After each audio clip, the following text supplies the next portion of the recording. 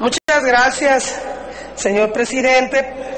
Y presento esta iniciativa con proyecto de decreto que reforma varias fracciones de la Ley General de Pesca y Acuacultura Sustentable.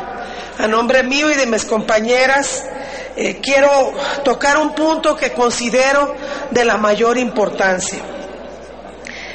La acuacultura es una de las principales alternativas con las que se cuenta en el sector pesquero, pero los datos que arroja los datos que arroja son muy interesantes, la riqueza que genera, los productos que se cultivan. Sin embargo, en Latinoamérica, así como en México, no ha sido eh, tomada en cuenta la dimensión que tiene esta actividad.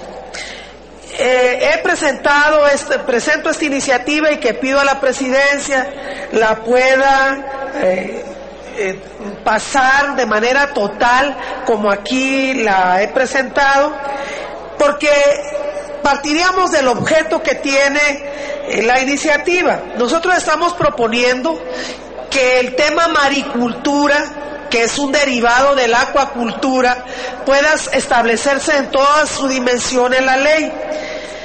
La maricultura eh, eh, contempla y considera como una actividad productiva que puede convertirse en un distintivo geográfico. México tiene grandes ventajas potenciales, el clima, su litoral, los cultivos que se tienen de la misma.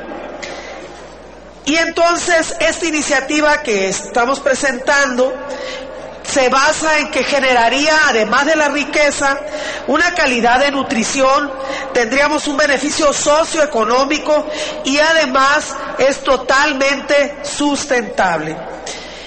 Aquí eh, se reforman varias fracciones, especialmente el artículo 25 bis, y se agregan una serie de conceptos novedosos que es importante se llamen a las cosas por su nombre. Por ejemplo, acuacultura eh, epicontinental, la aptitud acuícola, el área de reserva para la maricultura, los arrecifes y así un, alrededor de 17 nuevos conceptos.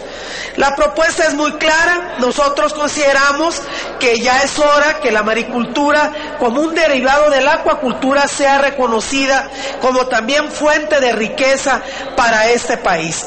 Que el cultivo de especies que ha dado riqueza se norme, se legisle, se fomente e impulse una de las actividades más importantes y que México, con todo este caudal de riqueza que tiene, no hemos puesto especial atención a esta actividad tan importante.